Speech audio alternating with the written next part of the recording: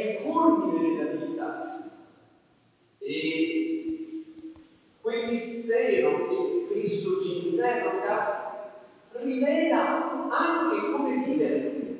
Allora capite, cari fanciulli, si tratta di avere fiducia, anche se nel nostro percorso possiamo trovare dei segnali che ci dicono qual pericolo, caduta massi, pericolo, caduta massi, noi dobbiamo avere fiducia, non farci spaventare, non fate spaventare, cari genitori, non spaventate questi figlioli.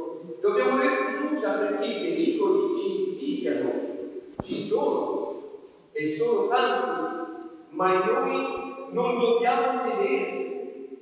Questo abbiamo scoperto in questo percorso della Quaresima. È un viaggio, una via, un itinerario ma in questo cammino ci siamo sentiti consolati, confortati, perché quei pericoli della vita sono tanti, sono dei segnali fondamentali per dire attenti, qui c'è un pericolo, ma abbi fiducia, vai avanti, scopri che se sei capace di leggere la tua vita, e anche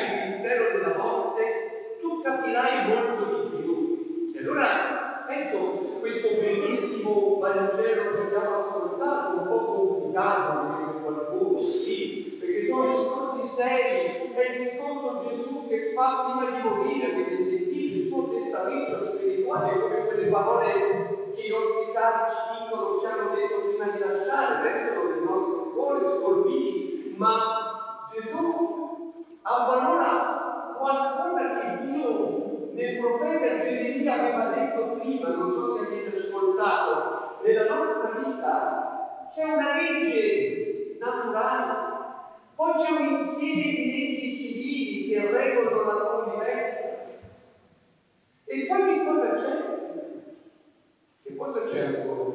C'è un altro tipo di legge? Sì, qual è?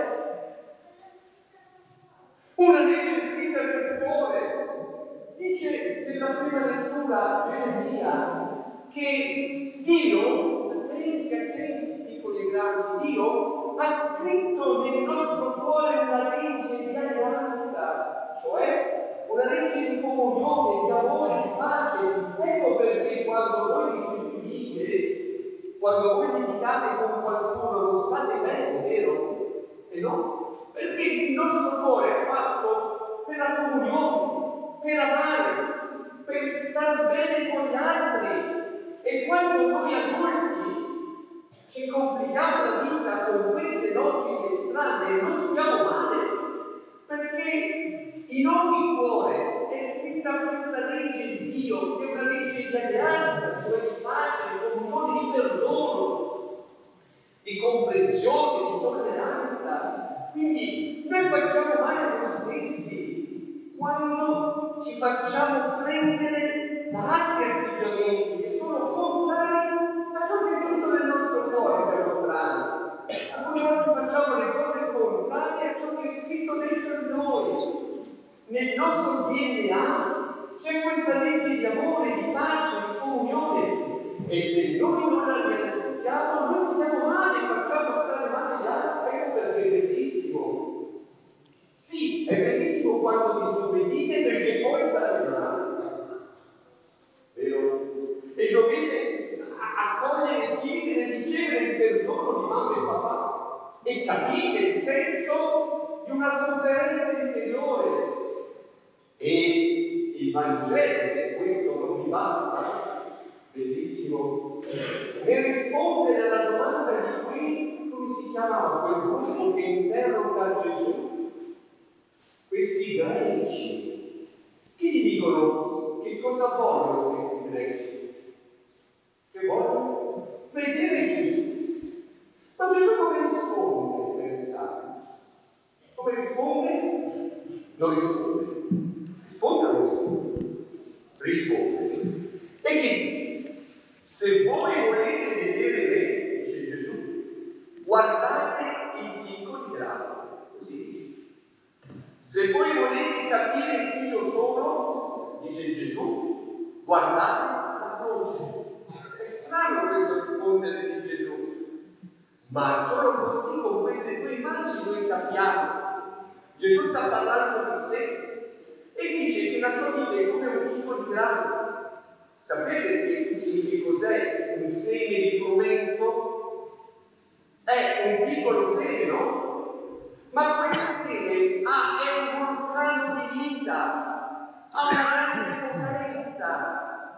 Ma quando ha questa potenza? Quando lo metti sottoterra, vero? E sottoterra questo seme marcisce e poi alla fine produce il frumento. Capite qual è la logica di Gesù della vita?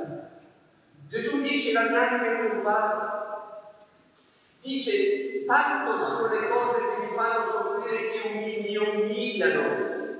Quei piccoli, non avete queste cose, ma in grandi sappiamo che tante sono le cose che ci umiliano e ci fanno soffrire, e tante sono le cose che ogni giorno mi umiliano e mi fanno soffrire. È come quel seme che marcisce dentro il nostro cuore, nessuno vede ciò che cade, come nel terreno nessuno vede ciò che cade nel seme. Ma nei frutti noi vediamo che qualcosa è accaduto in quel terreno. Quel seme si è frantumato, macerato, però poi è dato origine a una cosa straordinaria.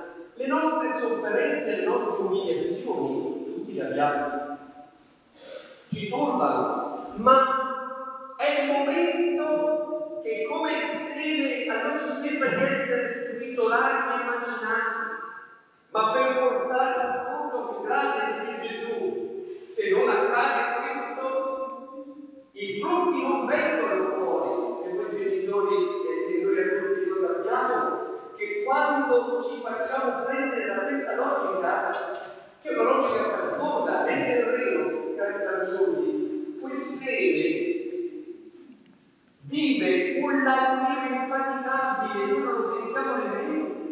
Come nel nostro cuore c'è un lavorio infaticabile quando siamo presi dalle umiliazioni, dalle sofferenze, ma poi il frutto emerge in maniera straordinaria e quel frumento porta il suo risultato. E quindi Gesù, volete vedere me? Guardate ciò che accade a chicco di grano, dice, voi siete come un chicco di grano, voi piccoli siete come un chicco di grano, posto nel terreno delle vostre famiglie.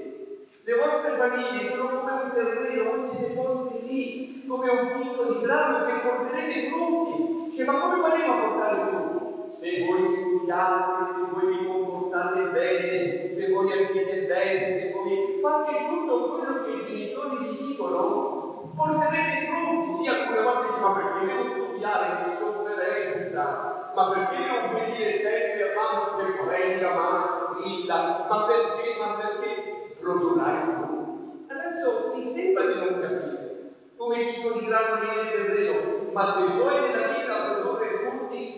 ringrazia chi ti macina un po', ringrazia chi ti chiede qualcosa di più, ringrazia chi chi in fondo sollecita perché tu ti comporti bene, capite? Come il chicco di grano. Gesù la è come questo chicco di grano. Per produrre frutti io devo morire e la mia morte sarà salvezza per voi. Guardate che discorso che si coglie solo nella dimensione di chi qualche volta ha vissuto la logica del chicco di grano.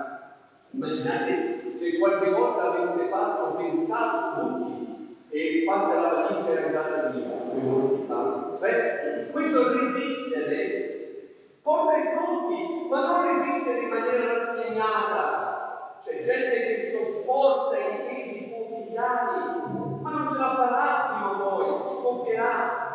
Solo chi con forza, perché ha dentro di sé una potenza, un'energia vitale, trasforma quelle situazioni vincerà non è la rassegnazione, ma è la lotta per, per, per il positivo, è la lotta per l'amore, perché si affermi la giustizia che ci rende persone cristiane abili ad una società nuova. Non l'umiliazione, la sopportazione, non ci andrà poi dovrà prendere le voci per dormire. Mentre il cristiano ha una potenza dentro di sé, come se noi siamo questo chicco di grano posto nel terreno degli affetti, delle relazioni. Se sapessimo che ognuno di noi ha una potenza dentro di sé, ha un potenziale di energia di vita, non soccomberebbe mai. Sofferenze umiliazioni glorificazione e all'esaltazione, dice Gesù, benissimo. E allora attenti, volete capire chi io sono, dice Gesù, guardate la croce, anche qui. La vita va amata. Gesù dice bisogna odiare no, nella vita bisogna odiare ciò che non va. Avete mai visto un campo di grano? Beh, in quel grano ci sono anche delle facce, allora dice Gesù, nella vita che tu devi amare, elimina ciò che non va. Capite? È un continuo la nostra vita, ecco la Quaresima che si conclude. Abbiamo lavorato nel terreno del nostro cuore, abbiamo lavorato nel terreno delle nostre famiglie, nel terreno dei nostri affetti. Se abbiamo lavorato, anche accogliendo sofferenze e umiliazioni, i frutti dell'arte basta aspettare un po'. Ma se non lavoriamo con questa logica, non solo verranno i frutti, ma noi non concluderemo granché. Ecco ciò che viviamo nella società. Allora riaffermiamo quest'oggi il nostro desiderio di camminare proprio preparandoci ormai alla Pasqua con, questo, con questa volontà. Sappiamo che Dio ha scritto nel nostro cuore una legge di amore, questa è la nostra forza. È una potenza che ci mette in piedi ogni giorno, che ci farà resistere, perché nostra società si affermino, ma impariamo ad eliminare dalla vita ciò che non va, quelle prepotenze, orgoglio, e l'umiltà del piccolo di grado è una grande nazione di Dio. Allora attenti ai pericoli, ma con fiducia, Attenzione talvolta massima, ma con fiducia, perché anche con queste sollecitazioni noi continuiamo a camminare senza perdere la fiducia negli altri e soprattutto in Dio. E allora in questo percorso della Quaresima vi ho detto e spiegato qualche segnale, perché nella vostra vita crescendo possiate farvi aiutare dai segni della vita.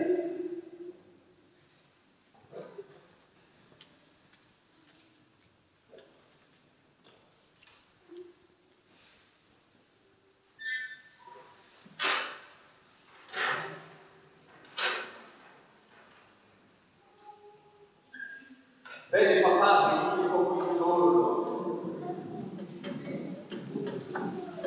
Vi ritorno da sì.